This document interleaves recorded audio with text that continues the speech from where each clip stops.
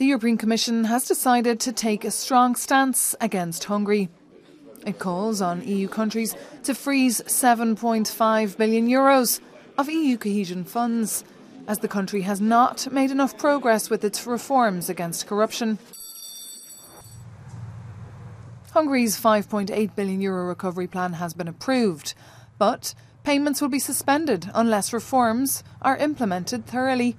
So in total, 13 billion euros are at stake. Hungary has unfortunately not implemented the remedial measures so that we could say that the risks we identified have gone away. We conclude, therefore, that we maintain, as it stands, our proposal on the budgetary protection measures.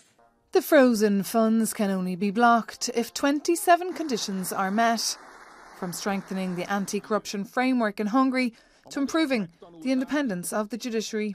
The Hungarian government is furious with this decision, but the Hungarian opposition welcome the proposal and hope that EU member states will too.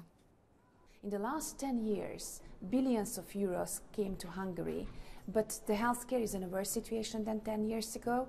The education is a worse, in a worse situation. The competitiveness of the country did not increase because all these funds went to three, four oligarchs.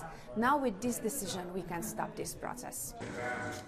EU finance ministers will have to pass this text by qualified majority.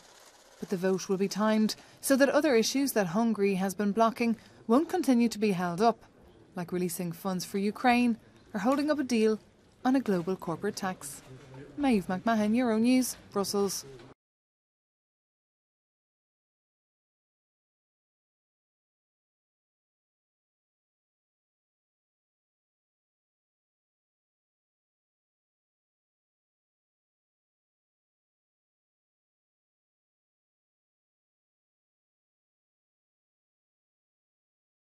The Hungarian opposition welcome the proposal and hope EU member states will too.